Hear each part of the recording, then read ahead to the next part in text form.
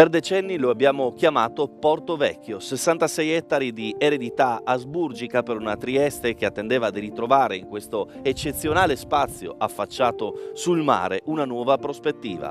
Ora vogliamo chiamarlo Porto Vivo per raccontarvi in questo ciclo di sei trasmissioni, di sei puntate, come il comune di Trieste vuole trasformarlo in uno spazio d'attrazione di impresa, di investimenti, ma anche in un bosco urbano al servizio della vivibilità dei dei cittadini.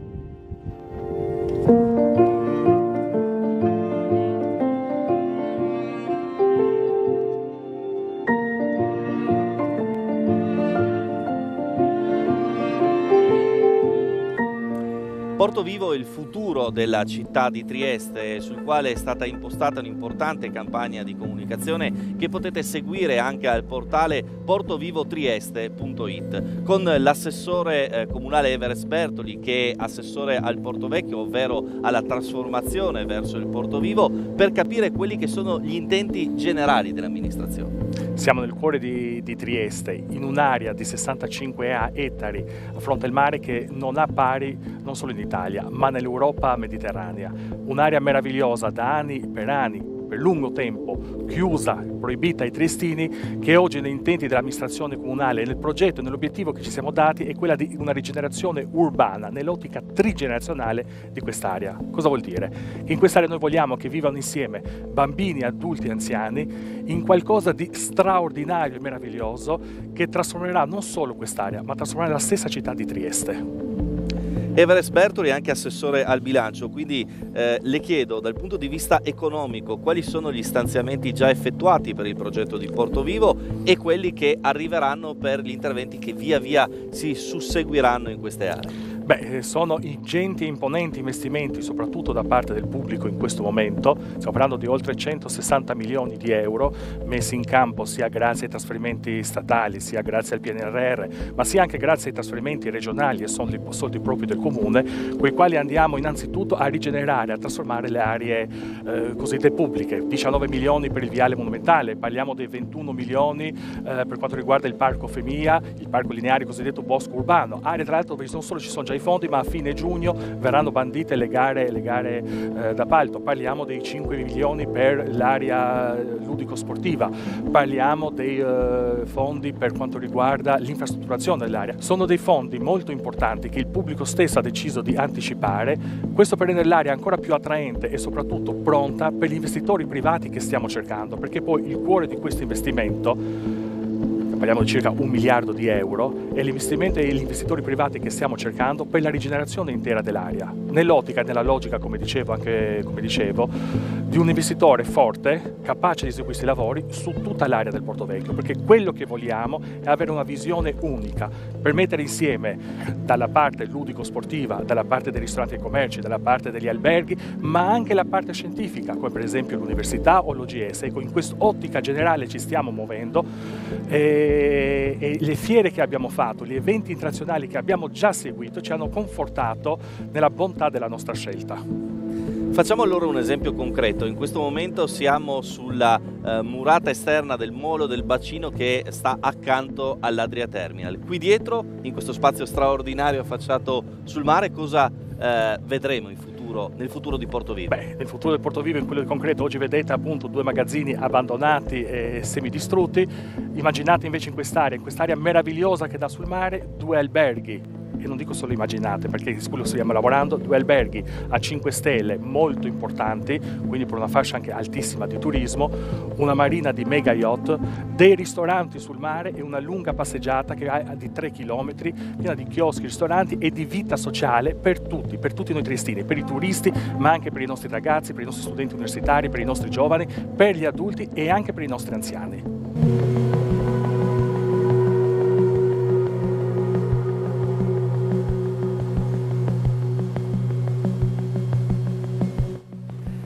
Siamo nel bel mezzo dei lavori del cantiere di Porto Vivo, alle nostre spalle Ruspe in azione, con noi il sindaco di Trieste Roberto Di Piazza. Questo è il cantiere per la nuova viabilità che segue quello dei sottoservizi, perché prima di portare le imprese, le attività, bisognava infrastrutturare a livello di acqua, luce e gas. Bravo, qui sono 120 anni non c'era niente, mancava completamente l'urbanizzazione dell'area Qui sotto abbiamo messo decine di migliaia di tubi di acqua, fognatura, luce, gas, telefoni, chi più ne ha più ne metta. Abbiamo portato anche gli scarichi a mare da un metro perché, perché è meglio prevenire che curare visto che arrivano queste piogge forti, così ci sono degli scarichi a mare molto importanti. Adesso è infrastrutturata, vedete gli scarichi, vedete i pali della luce, vedete le fognature, vedete tutto quanto adesso a settembre verrà asfaltato e apriremo da Largo Santos fino alla rotatoria ci sarà questa strada e così la, i triestini potranno di nuovo poter venire a correre, poter usufruire di questo posto meraviglioso che è la vita della città, perché con Maria Teresa d'Austria la città è diventata da 40.000 abitanti, che era un borghetto, a 270.000. Io credo che un 20-25.000 abitanti con quello che succederà in Porto Vecchio li prenderemo. Si parlava di eh, correre, Sindaco, e questa sarà proprio la bretella che verrà riaperta da Largo Santos in poi e permetterà ai cittadini di fruire nuovamente del Porto Vecchio. Innanzitutto guarda i marciapiedi molto larghi, poi ci saranno le piste ciclabili, abbiamo fatto ingresso-uscita e non un unico ingresso, un'unica uscita, proprio per favorire le piste ciclabili. Qui ce ne sarà una e dall'altra parte, dopo sul viale, ce ne sarà un'altra. Ma guarda la larghezza dei marciapiedi che sentirà i triestini di, di, venire dentro in Porto Vecchio, di correre, di frequentare come veniva fatto prima, prima dei lavori. Prova a immaginare questo viale così come sarà con i pali della luce, sono già arrivati 68 pali della luce che ricordano e che sono uguali ovviamente a quelli davanti al centro congressi. E tra l'altro sarà anche un nuovo modo di spostarsi eh, dalla città eh, a Barcola con questa nuova struttura viaria. Beh, piste ciclabili e a piedi, perché qui veniva, guarda che era molto frequentato prima, eh? da Largo Santo la gente veniva dentro e ritornerà dentro, lì c'è la taverna che, sta, che, è stata vincolata dalla sovrintendenza per diventare un bar ristorante.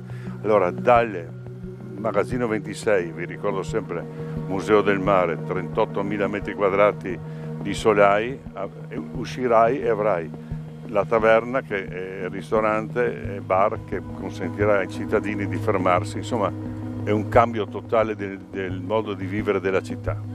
Sempre in piena operatività sindaco di lavori in quello spazio che diventerà il parco lineare verde o bosco urbano, quindi spazi per camminare, per correre, per andare in bici, alberi, panchine, insomma lo spazio in cui i cittadini vivranno Porto Vivo.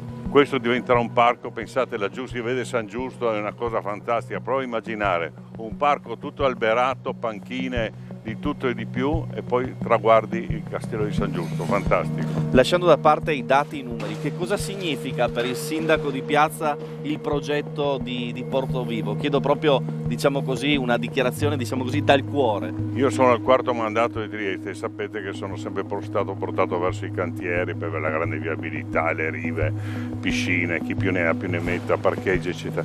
Adesso questo è una cosa che mi fa impazzire, nel senso che ti viene tanta voglia di fare fare perché capisci che è il futuro della nostra città. Questo è il futuro della nostra città. In questi sei mesi abbiamo registrato il 40% in più di turismo, pensate voi cosa succederà con l'arrivo di Porto Vivio.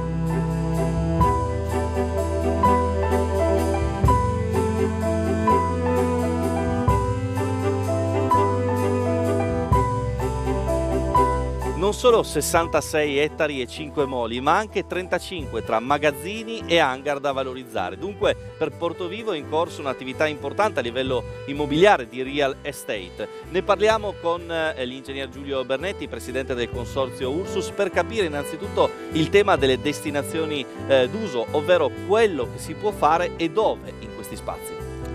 Il master plan di Porto Vecchio prevede essenzialmente la divisione del porto in quattro sistemi. sistema a nord ludico sportivo, dedicato alle attività ricreative, il sistema eh, dei congressi e dei musei nell'area centrale, quindi molto eh, di ispirazione a servizi pubblici, e a sud abbiamo il sistema dei moli, destinato prevalentemente alle aree legate ancora ad autorità di sistema portuale, e il cosiddetto sistema mi misto, che in qualche modo comprende tutti i magazzini storici del Porto Vecchio. È il sistema misto ad aver eh, sviluppato la parte innovativa del master plan dove il comune ha deciso quello, più quello che non si vuole che si faccia in quella zona piuttosto che dare singoli destinazioni d'uso che poi si scontrano con l'aspetto economico e con la reale valorizzazione. Quindi il comune non vuole industrie e non vuole centri commerciali, ma il mix di altre destinazioni e il corretto equilibrio tra queste verrà deciso dal privato. Un altro elemento importantissimo del Porto Vecchio, che forse non è stato mai sufficientemente sottolineato, è che questa non sarà una città proibita, non sarà venduta in blocco, ma il Consiglio Comunale ha stabilito che tutte le aree pubbliche rimarranno per i triestini ed è per questo che ci sono tanti investimenti pubblici su queste aree. Qual è il ruolo del consorzio Ursus? Il ruolo del consorzio è essenzialmente innanzitutto quello delle promozioni, sia sul web sia con la partecipazione ai numerosi convegni e congressi cui Ursus è invitato di promuovere il porto, promuovere l'alienazione di magazzini ma anche la specificità perché va ricordato che abbiamo un patrimonio eh, di carattere culturale unico nel suo genere e va conservato e in, questo, in, questa linea qua anche il piano regolatore è stato molto chiaro sulla massima tutela dei magazzini. Il, consorzio Ursus promuove lo sviluppo e l'alienazione di questi magazzini anche attraverso la raccolta dei potenziali investitori che devono essere, essere però investitori eh, reali, che intervengono sul territorio, non semplicemente che comprino. È molto facile comprare, l'avremmo già venduto 20 volte, ma il rischio di alienare tout court un magazzino consiste nel fatto che poi il proprietario fa quello che vuole. Per esempio se decide di non intervenire per 20 anni perché un fondo di investimento lo tiene lì, noi stiamo come pubblica amministrazione investendo fuori e nessuno investe dentro. Sarà proprio grazie alla finanza di progetto e al partenariato pubblico-privato che ci sarà questa eh, relazione continua tra pubblico e privato che consentirà un adeguato e controllato sviluppo. Per il eh, progetto Porto Vivo eh, Ursus collabora ovviamente con il Comune di Trieste, con la Regione, con l'autorità eh, portuale e in particolare la Regione ha già deciso di investire spostando in proiezione futura le attività che sono realizzate in 12 eh, edifici del centro storico in un'area del Porto Vecchio che diventerà un centro di servizi. Come il comune che sta investendo nelle aree pubbliche e nei musei, la regione ha deciso di scommettere su Porto Vecchio, quindi ha acquistato quattro magazzini per lo sviluppo dei propri uffici, più un altro magazzino che sarà destinato, attraverso l'intervento anche del comune di Trieste, a centro per l'impiego, sempre per mantenere una salda operazione pubblica nell'area e garantire e mostrare anche al privato che il pubblico per primo ci scommette.